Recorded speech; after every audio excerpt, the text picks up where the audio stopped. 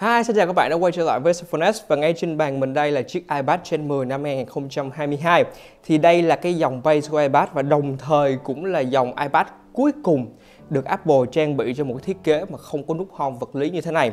Thực sự ra thì bản thân mình nghĩ là phải tới năm sau thì Apple mới làm điều này nhưng mà băm một cái thì ờ, tự nhiên chúng ta lại có cái anh này và thế là chúng ta lại có một video và gặp lại nhau. Và đối với những anh em nào đang quan tâm tới chiếc iPad Gen 10 năm 2022 này, thì mình sẽ để đường link ở phía bên dưới cho anh em tiện tham khảo hơn nhé. Và các anh em cũng đừng quên, Cellphone là chuỗi bán lẻ ủy quyền của Apple tại Việt Nam có gần 120 cửa hàng khắp cả nước. Ưu đãi thanh toán ngân hàng giảm thêm đến 2 triệu đồng lên đời trợ giá thêm 1 triệu đồng. Vậy thì bây giờ các bạn hãy cùng mình tìm hiểu xem là liệu chiếc iPad này có đáng để nâng cấp so với những cái thế hệ trước của nó hay là không nhé. Ok, vậy thì cái yếu tố đầu tiên mà mình muốn nói đến là về những cái đối tượng mà cái dòng iPad này nó sẽ hướng tới. Bởi vì như anh em cũng đã biết thì Apple có rất là nhiều dòng iPad khác nhau. Ví dụ như là iPad mini, iPad Air hoặc thậm chí là iPad Pro. Thế thì cái dòng base này nó sẽ hướng tới những cái đối tượng nào? Thì cái dòng base này Apple hướng tới những bạn như là học sinh, sinh viên là chính. Bởi vì uh, nó mỏng, nó nhẹ và nó rất là gọn. Và cái hiệu năng trên con máy này á, hoàn toàn có thể đáp ứng được những cái công việc mà những bạn học sinh, sinh viên cần mình nghĩ là khi mà các bạn mua một sản phẩm của Apple thì nó sẽ rất là có lợi bởi vì như các bạn cũng đã biết á thì iPhone này, iPad này, MacBook này thì được Apple hỗ trợ trong một thời gian rất là dài lên tầm đâu đó tầm 4 đến 5 năm đổ lên là một chuyện rất là bình thường. Nhưng em cũng đã biết á, thì cái iPhone 6 thì mới chỉ được Apple ngừng hỗ trợ trong thời gian gần đây thôi nhưng mà cái tuổi đời của nó là 5 năm đổ lên rồi.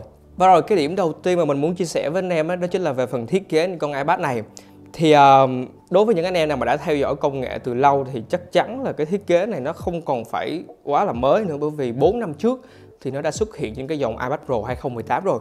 Nhưng mà đến tận 4 năm sau thì nó mới được mang lên những cái dòng iPad base lần này và phải nói thật là chúng ta sẽ không còn có một cái nút home vật lý ở đây như đời trước nữa. Viền màn hình thì được làm mỏng hơn này. Hai bên cạnh viền sẽ là hai cái loa tổng cộng là bốn cái. Và chúng ta sẽ được trang bị nút nguồn ở cạnh như thế này tích hợp luôn cả Touch ID và một cái điều đặc biệt là cổng sạc giờ đây không phải là cổng Lightning nữa nhưng mà lại là cổng USB Type-C nhưng mà nó cũng rất là lạ bởi vì uh, một chút mình sẽ giải thích sâu về cái việc này. Nó lạ lắm anh em nó lạ lắm siêu siêu lạ luôn. Thì uh, mình muốn chia sẻ với anh em một cái sự thật nho nhỏ như thế này. Thì uh, cái con iPad này là cái con cuối cùng trong các tất cả các dòng iPad mà có cái thiết kế như thế này. Đến cả con iPad mini mà còn được có cái thiết kế này trước nữa đó. Trời ơi má ơi. Nhưng mà nhưng luôn luôn luôn có chữ nhân nha anh em. Apple luôn luôn làm theo cách của họ và nó luôn luôn có một cái điểm mới mà các dòng Pro hoặc là các dòng E không có mà chỉ có đúng một cái dòng này có thôi. Các anh em biết đó là gì không? Đó chính là cái camera nó sẽ không được đặt ở cái cạnh dọc này nữa mà nó được đặt ở cái cạnh ngang. Ghê vô ghê vô ghê vô. Trời ơi, phải nói là cái điều này là mình thật sự mình rất là muốn Apple làm trên những cái dòng Pro. Bởi vì cái dòng ngang như thế này nó sẽ giúp cho anh em có một cái cảm giác như là anh em đang nhìn vào camera hơn lúc mà anh em video call hoặc là trong cái cuộc gọi zoom. Chứ mà để giọng như thế này thực sự nó rất là khó chịu luôn ấy. Và các anh em hãy cùng xem video sau đây nhé và đây là chất lượng của cái camera trước trên cái dòng iPad này. Như anh em có thấy á, thì uh, cái mặt mình nó đã ở giữa hơn chứ nó không còn là bị nghiêng về phía nữa. Bởi vì uh, như mình đã nói lúc nãy thì uh, cái camera được đặt lên cạnh ngang rồi. Uh, mình thật sự thì mình rất là thích cái điểm này trên con iPad này nhưng mà mình hy vọng là trong tương lai thì các dòng E cũng như là dòng Pro thì cũng sẽ có cái tính năng này luôn. Còn um, cái độ phân giải của camera trước sẽ là 12 megapixel và có hai chế độ là chế độ góc rộng và góc độ siêu rộng thì uh, mình đang quay bằng cái góc độ siêu rộng nên các anh em sẽ thấy là nó rất là rộng. Ừ. còn ở phía mặt sau á, thì cái camera nó cũng sẽ là 12 megapixel luôn. Nên uh, mình nghĩ là đối với những anh em nào mà sử dụng để chụp tài liệu thì phải nói là rõ như ban ngày anh em ạ. Hồi nãy thì mình có chia sẻ với anh em là cái con iPad này nó có một cái điểm rất là kỳ lạ. Mà thực sự thì mình cũng không hiểu tại sao mà Apple lại làm một cái điều kỳ lạ như vậy. Thì hồi nãy mình có chia sẻ là cái cổng sạc này là cái cổng USB Type-C nhưng mà cái điều lạ ở đây là cái con iPad này nó lại hỗ trợ Apple Pencil Gen 1 tức là cái cái thế hệ đầu tiên mà có cái cổng sạc Lightning á. Một cái này biết cái điều đó có nghĩa là gì không? Có nghĩa là Apple sẽ bán được thêm một cái đầu chuyển đổi như thế này trong trường hợp mà anh em cần phải xài cái bút cho cái iPad này. Và cái đầu chuyển đổi này là cái đầu chuyển đổi từ um, C sang Lightning nha anh em. Đấy rồi làm giàu đâu khó đâu mình chỉ cần làm ra một cái vấn đề rồi sau đó mình tạo ra một cái giải pháp rồi sau đó mình bán cái giải pháp đó. Ờ à, thiệt chứ dễ không biết nói gì luôn á. Đây đây để mình làm cho anh em xem thử nha. Đó anh em giờ anh em phải gắn vô như thế này. Rồi các anh em gắn vô ở bên cái iPad như thế này đây. Đó rồi sau đó mới anh em mới cầm cái này. Cắm vô đây thì mới sạc được cái bút này. Tổng bộ nguyên thể thì nó sẽ là như thế này. Nhưng mà nhiều khi thì mình thấy là cái này mình được làm ra cho sinh viên nhưng mà nó lại uh, hơi hơi hơi lạ và nó thực sự thì theo như mình thấy thì nó hơi cồng kềnh. Nhưng mà mình nghĩ là đối với những anh em nào mà có nhu cầu xài Apple Pencil á thì uh, cái pin của con này thực sự rất là trâu xài trong một ngày thì uh, mình nghĩ là không hết đâu bởi vì mình đã xài cái Apple Pencil Gen 2 rồi pin nó thực sự rất là tốt. Mình nghĩ con này thì nó cũng sẽ có cái tính năng tương tự như vậy. Mình nghĩ là anh em chỉ cần sạc ở nhà rồi sau đó nếu như mà đem ra đường xài thì uh, vẫn xài được hết một ngày đấy. Nói chung là cái này thì nó hơi lạ và muốn chia sẻ với anh em một tí thôi. Ok và tiếp đến ấy là về phần màn hình của con iPad này. Thì cái màn hình nó đóng một cái vai trò rất là quan trọng trong cái việc là quyết định của anh em là có nên mua cái chiếc iPad này hay là không thì uh, một tin vui cho anh em đó chính là bây giờ cái màn hình này nó là Liquid Retina. Thì uh, chia sẻ thật thì uh, đây không phải là một cái công nghệ màn hình quá là mới. Hầu như tất cả các dòng iPad nó đều có hết rồi mà hình như là con này là con cuối cùng luôn ấy. Nếu như mà đem so cái màn hình của con này mà so với lại cái đời trước của nó cách đây tầm khoảng một năm thì đúng là một sự cải tiến rất là vượt bậc nhưng mà giá của nó thì lại khá là xem xem nhau. Nên mình cho là đây cũng là một sự uh, cải tiến và tiến bộ đến từ uh, Apple. Và mình nghĩ là đối với một cái màn hình như thế này á thì hoàn toàn có thể phục vụ tốt được cho các nhu cầu như là xem tài liệu này, Excel hay là Word của anh em này. Ngoài ra thì uh, nếu như mà các anh em sử dụng Apple Pencil ghi lên trên cái màn hình này thì nó thật là nó không có vấn đề gì cả bởi vì về cơ bản là Apple tối ưu cái phần mềm với là phần cứng của họ rất là tốt. Mặc dù là cái màn hình này nó chỉ là 60 Hz mà thôi nhưng mà khi mà ghi lên nó các anh em sẽ không cảm thấy một cái độ chậm trễ nào hết. Như anh em có thể thấy trên màn hình đây mình có demo cho anh em xem thử. Các anh em thấy không?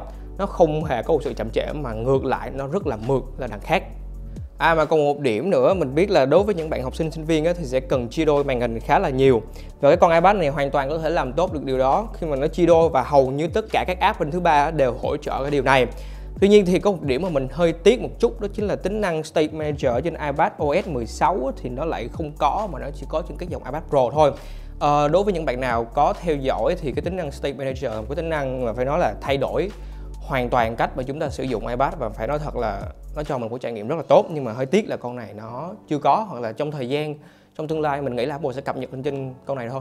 Và rồi tiếp đến đó là một phần cũng không kém quan trọng so với những phần trước, đó chính là về cái hiệu năng trên con iPad này. Thì cái con iPad này đang chạy cho mình con chip là A14 Bionic. Thì à, đối với những anh em nào mà tò mò thì đây là con chip đã từng xuất hiện trên các dòng iPhone 12 series. Đặc biệt là mình đã có cơ hội được trải nghiệm cái dòng iPhone 12 Pro Max và phải nói thật sự là với cái con chip i4 Bionic thì cái dòng iPhone đó nó chạy pin phải nói là trâu cực kỳ luôn. Và mình cũng mong một cái điều tương tự xảy ra đối với cái iPad này cũng như là đối với cái thời lượng pin của nó. Thì phải nói là sau khi trải nghiệm, ồ trời ơi, nó phải nói là rất là hài lòng và mình nghĩ là đối với những cái nhu cầu của những bạn học sinh sinh viên á, khi mà sử dụng con iPad này thì cái thời lượng pin chắc chắn sẽ không phải là một vấn đề mà các bạn cần phải quan tâm tới bởi vì tin mình đi pin nó rất là trâu.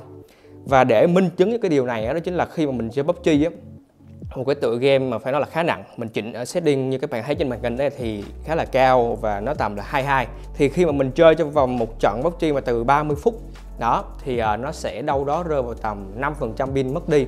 Thì mình nghĩ đây là một cái thời lượng pin phải nói là khá là tốt và khá là ổn định thì ờ, đối với những cái hoạt động như là chỉ là xem tài liệu này hoặc là tham gia các cuộc gọi zoom này hoặc thậm chí là viết bài trên cái iPad này thì mình nghĩ thật sự thì thời lượng pin nó có thể đáp ứng tốt được cho nhu cầu của các bạn. Phải chia sẻ thật với anh em ấy, mình là một người đã từng trải nghiệm khá là nhiều các máy tính bảng Android khác nhau.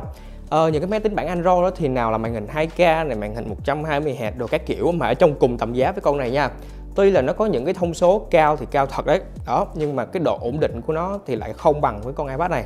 Con iPad này thật sự thì phải nói với các bạn một điều là nó cho mình một cái độ ổn định rất là cao trong lúc mà mình sử dụng. Không hề giật lát, không hề có một hiện tượng nóng lên và không hề có một hiện tượng tuột pin bất chợt. Những cái con kia thì lâu lâu tự nhiên cái đang ngồi cái nóng lên một cái cái nó tuột pin. Và thế là phải về nhà và cầm cục sạc lên nó rất là khó chịu và trong cái quá trình học tập thì chắc chắn là các bạn sẽ không hề muốn cái trường hợp đó xảy ra đúng không nào? Và mình nghĩ là đối với những anh em nào mà đang thực sự cần một chiếc máy cho công việc học tập, thì đây sẽ là một chiếc máy mà để anh em cần phải cân nhắc tới. Và nhân tiện đây, khi mà nói tới các công việc học tập thì ờ, mình cũng ờ, xin anh em một phút quảng cáo một tí. À thì ờ, như các anh em thấy trên bàn nãy giờ, ở đây là một cái mẫu ốp lưng, iPad hoàn toàn mới của Apple. Các anh em sẽ có được một cái hệ thống bàn phím và một cái ờ, kickstand như thế này. Thì uh, cái mẫu mà gọi là bàn phím mới như thế này thì chỉ có đúng trên một cái dòng này nó có thôi cái mà có cái kickstand như vậy nè anh em. Chứ còn mấy cái dòng khác là không có nha anh em. Đây mình làm cho anh em xem nha. Cái dòng này cái kickstand nó sẽ được ở bên riêng này và cái bàn phím nó sẽ ở riêng này. Và các anh em thấy á, thì mình mở ra mở vô rất là dễ dàng. Nên khi mà các anh em làm việc á, thì các anh em chỉ cần bụp vô một cái rồi bụp vô đây một cái. Đó rồi mở ra rồi sau đó làm thôi. Đấy, nói chung là cái quá trình mà kiểu như là gắn vô hoặc là tháo ra đồ nó đều rất là dễ dàng. Và đối với những anh em nào đang cần tìm một cái bàn phím chính hãng á, thì đây quả thật là một lựa chọn rất là tốt mà nó còn chính hãng của Apple nữa. Và nếu như mà anh em nào không cần bàn phím ấy thì ở bên Cellphone cũng có bán luôn một cái dòng ốp. Thì cái dòng ốp này ờ, ở trên dòng iPad nào mình thấy nó cũng có thì ờ, nó cũng rất là đơn giản. Nói chung là mấy cái dòng ốp của Apple thì được gắn vào bởi 500 hết nên cái việc tháo ra lắp vô nó cũng rất là dễ dàng. À, đó.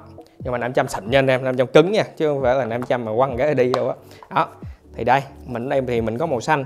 Thì uh, theo như mình có tham khảo trên website á, thì uh, những cái mẫu mã như thế này á cái mẫu mà cái ốp portfolio này thì nó khá khá là nhiều màu. Anh em nào mà hứng thú thì mình cũng sẽ để đường link phía bên dưới cho anh em tham khảo luôn nhé Vừa rồi, đó là trải nghiệm của mình đối với chiếc iPad Gen 10 năm 2022 này. Các anh em thấy cái chiếc iPad nhìn như thế nào? Có đáng nâng cấp so với thế hệ trước của nó hay là không? Và đừng quên Cellphone S là chuỗi bán lẻ ủy quyền của Apple tại Việt Nam, có gần 120 cửa hàng khắp cả nước. Ưu đãi thanh toán ngân hàng giảm thêm đến 2 triệu đồng, lên đời trợ giá đến 1 triệu đồng. Và cuối cùng xin chào và hẹn gặp lại. Bye bye.